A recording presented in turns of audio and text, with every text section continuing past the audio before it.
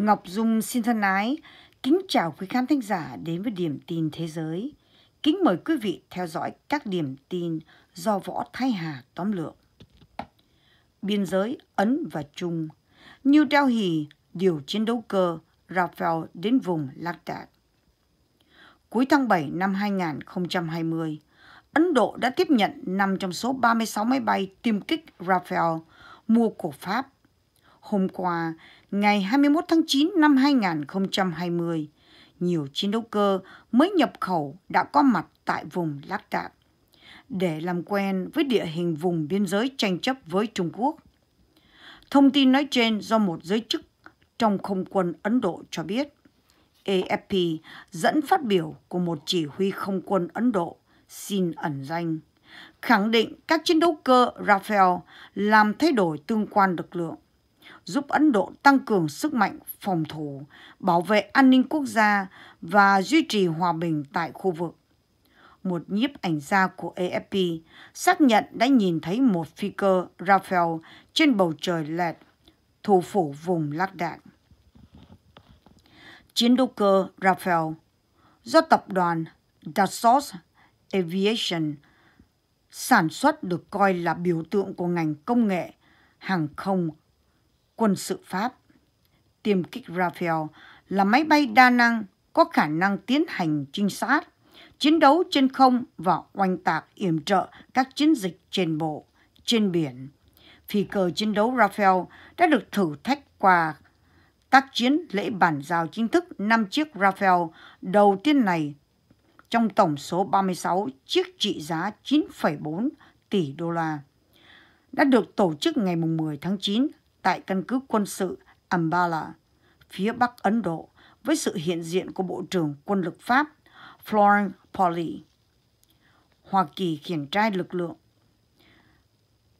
Hoa Kỳ triển khai lực lượng không gian ở sa mạc Ả Rập. Lực lượng không gian Hoa Kỳ mới được thành lập đang triển khai quân đội đến bán đảo Ả Rập, một mặt trận mới và rộng lớn theo hãng AP. Lực lượng không gian hiện có một phi đội gồm 20 binh sĩ đóng tại căn cứ không quân Al-Ade của Qatar trong lần triển khai đầu tiên ở nước ngoài. Lực lượng không gian Hoa Kỳ do Tổng thống Donald Trump thành lập, đại diện cho binh chủng thứ sáu của quân đội Hoa Kỳ và là lực lượng quân sự mới đầu tiên kể từ khi thành lập lực lượng không quân vào năm 1947, vẫn theo AP. Sa mạc Ả Rập, nơi diễn ra chiến dịch bão táp sa mạc năm 1991 nhằm đánh đuổi lực lượng Iraq ra khỏi Kuwait, chính là nơi mà các chuyên gia quân sự gọi là cuộc chiến tranh không gian. Đầu tiên trên thế giới, Ngày nay, Mỹ phải đối mặt với các mối đe dọa mới trong khu vực này, từ chương trình tên lửa và các nỗ lực của Iran nhằm gây nhiễu, hát và làm mù các vệ tinh. Đại tá Todd Benson, giám đốc lực lượng không gian Hoa Kỳ tại Al UDE, nói với AP, chúng tôi bắt đầu nhận thấy các quốc gia khác cực kỳ tích cực, chuẩn bị mở rộng xung đột vào không gian. Ông cho biết thêm, chúng ta phải có khả năng cạnh tranh và bảo vệ tất cả các lợi ích quốc gia của chúng ta. Trong một buổi lễ tuyên thệ hồi đầu tháng này tại Al Ude. 20 binh sĩ lực lượng không quân đứng bên cạnh quốc kỳ Hoa Kỳ và các vệ tinh khổng lồ đã tiến vào căn cứ lực lượng không gian. Mất quyền tiếp cận hai trạm quan sát vũ trụ ở Úc tham vọng của Trung Quốc bị ảnh hưởng. Theo Reuters, Tập đoàn Vũ trụ Thụy Điển, được viết tắt là SSC, ngày 21 tây tháng 9 thông báo sẽ ngừng cho Trung Quốc sử dụng hai trạm quan sát vũ trụ bằng vệ tinh đặt tại Geraldton, Tây Úc gồm trạm Donggala và Yataraga. SSC từng ký hợp đồng cho phép Bắc Kinh truy cập hệ thống anten vệ tinh tại trạm mặt đất này kể từ năm 2011. Cơ sở nằm cạnh một trạm vệ tinh khác của SSC chủ yếu được sử dụng bởi Mỹ và các cơ quan của Mỹ, trong đó có NASA. SSC nói với Reuters rằng họ sẽ không ký thêm hợp đồng nào về sử dụng trạm quan sát vũ trụ ở Úc với các khách hàng Trung Quốc sau khi hợp đồng hiện tại kết thúc. Tuy nhiên, SSC không tiết lộ các mốc thời gian cụ thể của hợp đồng hiện tại.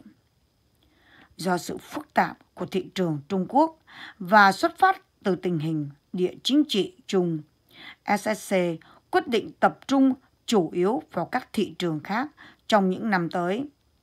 Đại diện SSA cho biết trong một email trả lời Reuters. Nga điều hàng nghìn binh sĩ đến biên giới Trung Quốc.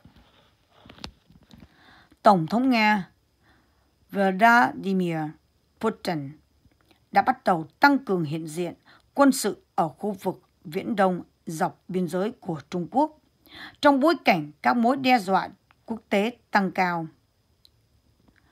Eurozone Times ngày 22 tháng 9 đưa tin, theo Bộ trưởng Quốc phòng Nga Sergei Shoigu, quyết định gửi quân tiếp viện của Moscow được đưa ra khi căng thẳng gia tăng ở hướng chiến lược phía đông, khu vực gồm vùng biên giới phía đông của Nga với Trung Quốc.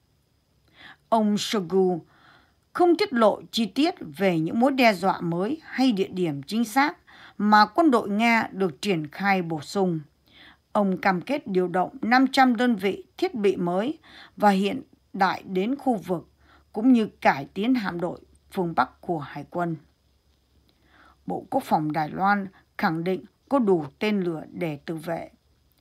Bộ Quốc phòng Đài Loan hôm 21 tháng 9 khẳng định có đủ tên lửa chính xác tầm xa để tự vệ trước một cuộc tấn công có thể khởi phát từ Trung Quốc. Qua đó bác bỏ báo cáo trước đó rằng cuộc tập trận gần đây cho thấy nguồn cung tên lửa của Đài Loan là không đủ. Trong một tuyên bố được Focus, Taiwan trích dẫn, Bộ Quốc phòng Đài Loan cho biết quân đội thường xuyên bổ sung các tên lửa chính xác của mình phù hợp với các kế hoạch tái cơ cấu quân đội. Tuyên bố nhấn mạnh kho dự trữ tên lửa chính xác của quân đội là đủ cho nhu cầu phòng thủ ở giai đoạn hiện tại. Trước đó, các phương tiện truyền thông Đài Loan như Taiwan News, CNA dẫn các nguồn tin quân sự cho biết kết quả của cuộc tập trận máy tính Hán Quang 36 kết thúc ngày 18 tháng 9 cho thấy số lượng tồn kho tên lửa của Đài Loan không đủ để chống lại một cuộc tấn công tập trung của Trung Quốc nếu kịch bản này xảy ra. Tổng thống Đài Loan khen phi công chặn máy bay Trung Quốc. Tổng thống Đài Loan Thái Văn Anh, nay ca ngợi, màn trình diễn anh dũng của các phi công không quân khi đã đánh chặn các máy bay phản lực của Trung Quốc áp sát hòn đảo Reuters đưa tin. Bà Thái phát biểu trong một chuyến thăm căn cứ của lực lượng phòng vệ trên không ở Bành Hồ. Tôi tin tưởng rằng mọi người là những người lính của Trung Hoa Dân Quốc. Làm sao chúng ta có thể để kẻ thù xung quanh rình rập trong không phận của chúng ta? Bà nhấn mạnh, tôi biết rằng khi đối mặt với hành vi khiêu khích của tiêm kích Trung Quốc trong việc bao vây hòn đảo và làm tổn hại hòa bình khu vực trong những ngày gần đây, nhiệm vụ của mọi người ở tuyến đầu trên không phận ở Bành Hồ ngày càng nặng nề hơn. Carolyn nói không thể yêu cầu bảo vệ cho 12 người bị Trung Quốc bắt giữ.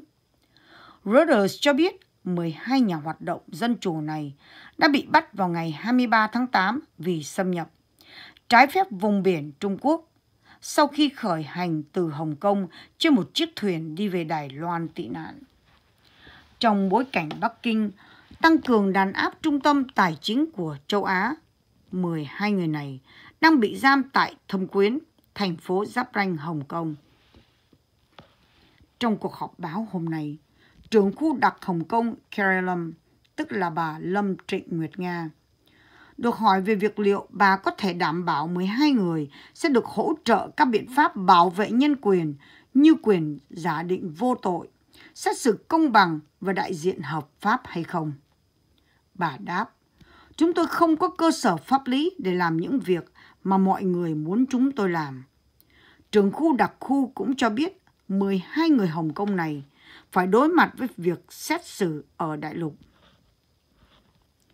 Chính quyền Campuchia gia tăng đàn áp dân chủ. Chính quyền Campuchia đang đẩy mạnh một chiến dịch đàn áp ngày càng bạo lực đối với các nhà hoạt động dân chủ, công khai thừa nhận rằng họ muốn dập tắt các cuộc biểu tình ôn hòa quy mô nhỏ để trấn áp một cuộc nổi dậy lớn hơn. Theo bản tin sáng thứ Ba ngày 22 tháng 9 của Nikkei. Ít nhất 24 nhà hoạt động Campuchia đã bị bắt kể từ ngày 31 tây tháng 7. Một nhà hoạt động nữ bị kéo tóc vào chiếc Lexus màu đen không biển số. Trong khi một nhà hoạt động khác bị bắt sau khi rời khỏi tòa Liên Hiệp Quốc, nơi cô tìm nơi ẩn náu. Theo các nhà giám sát nhân quyền, quyết tâm loại bỏ những bất đồng chính kiến, chính quyền Campuchia đã nhắm mục tiêu vào các cuộc biểu tình nhỏ của các nhà hoạt động trẻ tuổi, các nhà vận động môi trường và các người thân của các chính trị gia đối lập bị bỏ tù. Cảnh sát cũng đã bắt giữ một nhà sư Phật giáo vì biểu tình, đồng thời bắt giữ hai rapper trẻ vì các ca khúc chính trị. Cuộc chiến về việc kế nhiệm thẩm phán Ginsburg. Khi người ta bày tỏ lòng thương tiếc Ruth Bader Ginsburg. Vào tuần này, bên ngoài tòa nhà tòa án tối cao, Tổng thống và các cố vấn của ông đang gấp rút chọn người thay thế bà. Donald Trump nói ứng viên sẽ được công bố vào thứ Sáu hoặc thứ Bảy. Các ứng cử viên hàng đầu bao gồm Amy Coney Barrett và Barbara Lego. Cả hai đều rất bảo thủ và đều được ông Trump nâng lên chức vụ thẩm phán tòa, phúc thẩm liên bang.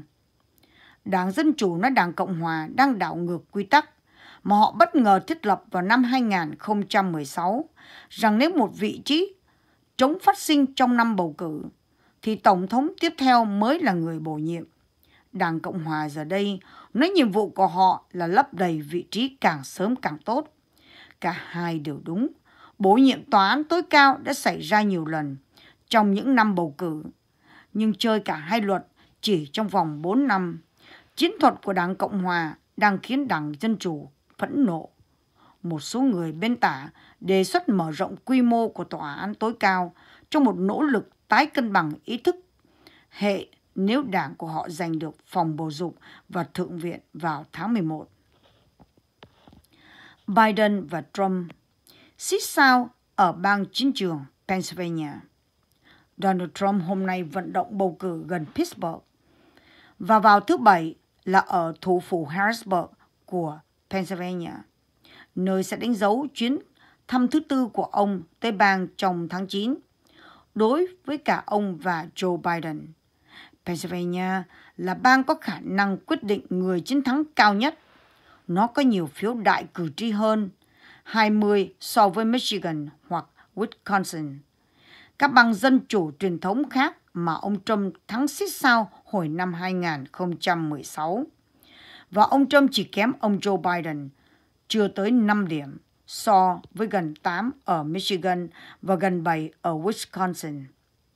Ông Trump tin khẩu hiệu, luật pháp và trật tự của mình sẽ thu hút được các cử tri da trắng bảo thủ lập trường của ông Biden về khai thác mỏ bằng thủy lực fracking. Ông phản đối khoan mới trên bất công, trên đất công. Có thể gần đến mức cấm khiến những người Pennsylvania, nhiều người trong số họ dựa vào ngành này, lo lắng hầu hết. Dân Pennsylvania trên 25 tuổi và người da trắng không có bằng đại học. Cử tri cốt lõi của ông Trump nhưng một cuộc thăm dò gần đây cho thấy hai ứng cử viên đang xích xào nhau về số cử tri Pennsylvania da trắng. Những người chắc chắn sẽ còn được hai ứng viên chú ý nhiều từ giờ đến ngày mùng 3 tây tháng 11. Lãnh đạo mới của công đảng Anh phát biểu trước toàn quốc. Sir Keir Keir Starmer, lãnh đạo công đảng Anh, hôm nay sẽ tuyên bố lòng yêu nước của mình. Trong bài phát biểu quan trọng đầu tiên của ông kể từ khi được bầu cử vào chức vụ này, đảng này nổi tiếng là thiếu tinh thần yêu nước dưới thời người tiền nhiệm. Jeremy Corbyn, một người dành cả đời phê phán hành động quân sự của Anh và ủng hộ những người Cộng hòa Ireland. Ông Keir đã thúc giục những người Anh từ bỏ đảng trong các cuộc bầu cử gần đây dành một cơ hội cho ban lãnh đạo mới, đồng thời đặt giáo dục và chăm sóc người già là hai trong số các ưu tiên của đảng. Ông kia đã vực dậy công đảng sau cuộc bầu cử thảm hại tháng 12 năm 2019 và đã cân bằng với đảo với đảng bảo thủ trong một số cuộc thăm dò gần đây. Đại dịch coronavirus đã làm phá sản hội nghị thường niên trực tiếp của đảng, mà nếu tổ chức cho phép lãnh đạo, đảng phát biểu trước quốc gia mà không có bất kỳ thành viên cánh tả khó chịu nào đứng lên phản đối, xu thế hướng vào lập trường trung dung của đảng. Cuộc chiến đám mây giữa Amazon và Microsoft Amazon đứng đầu trong lĩnh vực kinh doanh điện toán đám mây, nắm giữ gần một nửa thị trường. Nhưng Microsoft gần đây đã tạo ra một cuộc chiến khốc liệt. Công ty tăng đều đặn thị đều đặn thị phần của mình lên gần 1 trên năm mà và năm ngoái giành được hợp đồng trị giá 10 tỷ đô la cho các hệ thống của Bộ Quốc phòng Hoa Kỳ. Amazon kiện ra tòa, cáo buộc chính quyền Donald Trump can thiệp một cách không công bằng vào quá trình này, vì Tổng thống không thích ông chủ của công ty Jeff Bezos. Microsoft và Amazon hiện đang đưa điện toán đám mây của họ lên bầu trời. Hôm nay Microsoft bắt đầu hội nghị Ignite trực tuyến. Qua đó giới thiệu các công nghệ mới nhất của mình. Một trong những điều ấn tượng nhất sẽ là dịch vụ kết nối vệ tinh trực tiếp với Azure. Nền tảng đám mây của họ kết nối nhanh chóng vệ tinh mặt đất sẽ trở nên quan trọng hơn khi ngành công nghiệp vũ trụ, khu vực tư nhân tiếp tục phát triển. Nhưng Microsoft là kẻ đến sau. Sản phẩm tương tự đã được Amazon trình làng cách đây gần 2 năm. Một cảnh sát New York bị bắt vì nghĩ là gián điệp của Trung Quốc. Cảnh sát New York anh Wang bị buộc tội làm gián điệp cho chính quyền Trung Quốc, thực hiện hành vi gian lận điện tử, khai báo gian dối và cản trở một việc thi hành công vụ.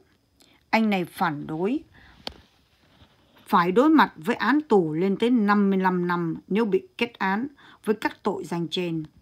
Ngày 21 tháng 9, các công tố viên liên bang cho biết một cảnh sát thành phố New York từng là thành viên Cục Dự trữ Quân đội Hoa Kỳ đã bị bắt với cáo buộc tham gia vào hoạt động điệp viên bất hợp pháp cho chính quyền Trung Quốc. B. Mazdezi Anh Wang sinh ra ở vùng Tây Tạng. Trung Quốc nhập quốc tịch Hoa Kỳ vào năm 33 tuổi. B. Mazdezi Anh Wang được cho là đã cung cấp thông tin tình báo về những người Tây Tạng đang sinh sống ở New York cho lãnh sự quán Trung Quốc tại thành phố này, theo hồ sơ khiếu kiện hình sự. Các công tố viên cho biết anh Wang làm việc ở Queens và sống tại Nassau County, Long Island. Anh này bị bắt vào ngày 19 tháng 9 tại phiên tòa đầu tiên tại tòa án quận phía đông của New York. Anh ta đã bị giam giữ và không được bảo lãnh. Luật sư của anh Wang John F. Carman từ chối bình luận về vụ việc. Kính thưa quý khán thính giả, điểm tin thế giới đến đây xin chấm dứt. Ngọc Dung xin thân ái kính chào tạm biệt quý khán thính giả và hẹn lại quý khán thính giả trong kỳ tới. Kính chúc quý khán thính giả và gia quyến một ngày thật là an vui, khỏe mạnh và hạnh phúc.